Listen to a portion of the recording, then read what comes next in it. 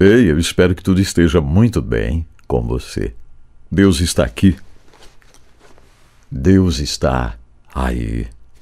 Vamos juntos em mais uma H11? Bem-vinda, bem-vindo.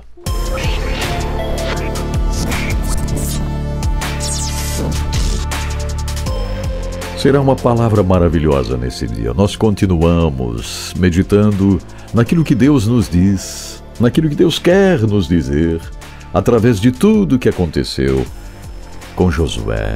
Isso está registrado aqui nas primeiras partes né, do livro de Josué.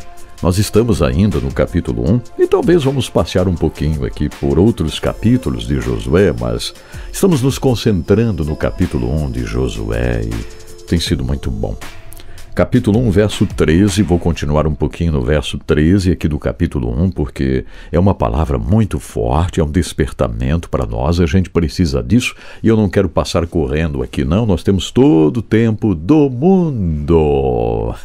Não é verdade? Claro! Josué, capítulo 1, verso 13. Começa assim, ó. Lembrai-vos. Quem está dizendo isso? Josué. Lembrai-vos. Nós precisamos ser lembrados. Nós somos humanos, a gente esquece, nós precisamos lembrar. Eu, quando vou ao supermercado, eu preciso ser lembrado do que devo trazer.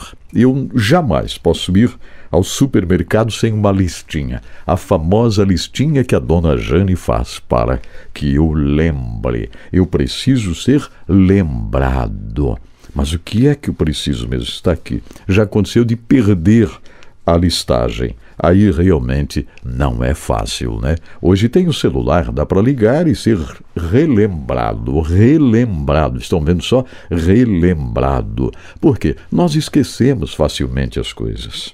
E aqui está Josué dizendo: Lembrai-vos da palavra que vos mandou Moisés. Lembrai-vos. É. Lembrem-se Há bênçãos para vocês, Josué está dizendo. Lembrem-se, por favor. Vocês precisam lembrar-se do que Moisés disse. Este aqui não é o nosso lugar. O nosso lugar é além do Jordão. Vamos, lembrai-vos do que Moisés falou. Ei, você já esqueceu a promessa, né? Lembre-se Há uma promessa de Deus para a sua vida. Vamos, lembre-se da promessa. Seis anos atrás, praticamente, quase seis anos, tive uma mudança muito radical no meu modo de fazer a minha missão, meu trabalho.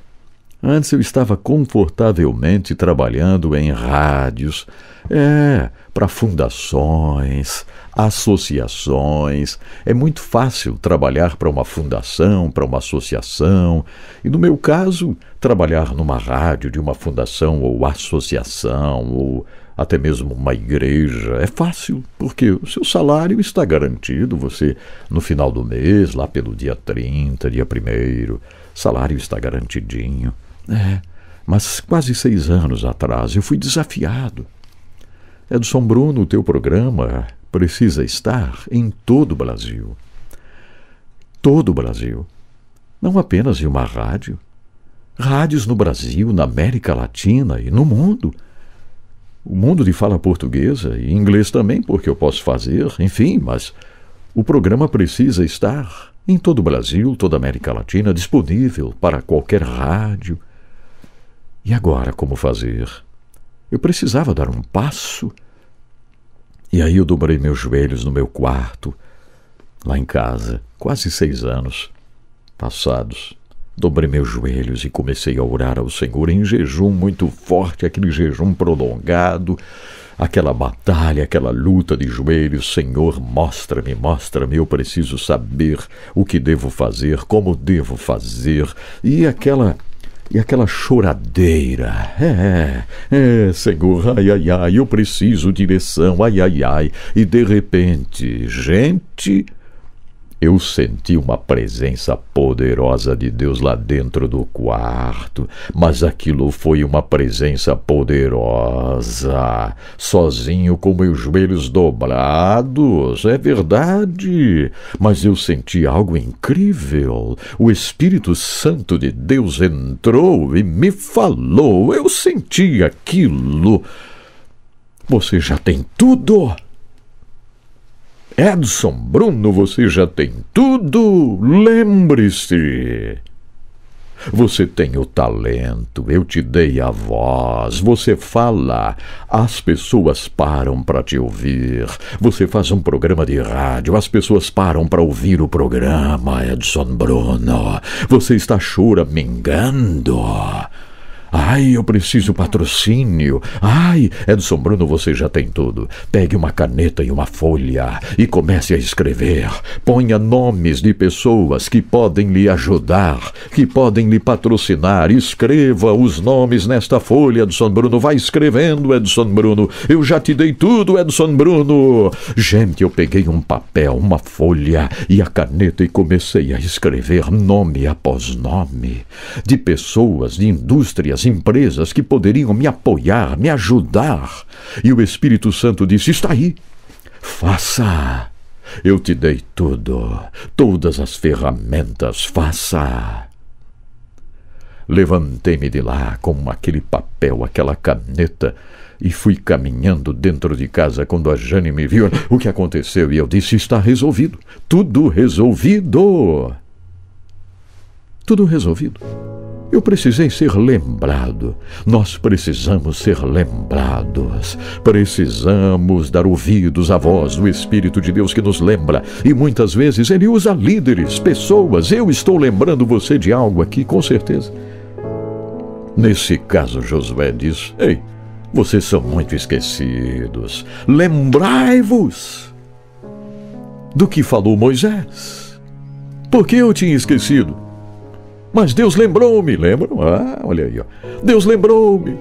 Deus falou com Josué. Lembre-se, Josué. Lembre-se, você tem a promessa, a terra que prometi.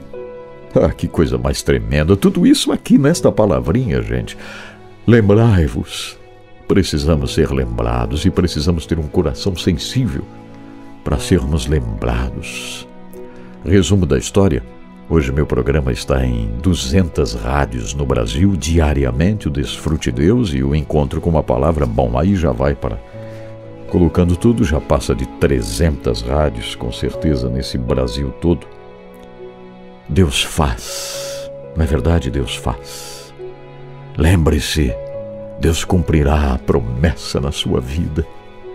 Meu Deus, obrigado, Senhor, porque a tua palavra é viva, é eficaz ela se manifesta. Pessoas que estão agora, Senhor, tão indecisas, sem saber para onde ir, dá coragem, fortalece, abençoa, Senhor, em nome de Jesus. Amém. Olha só, você precisa curtir o vídeo. Curta o vídeo.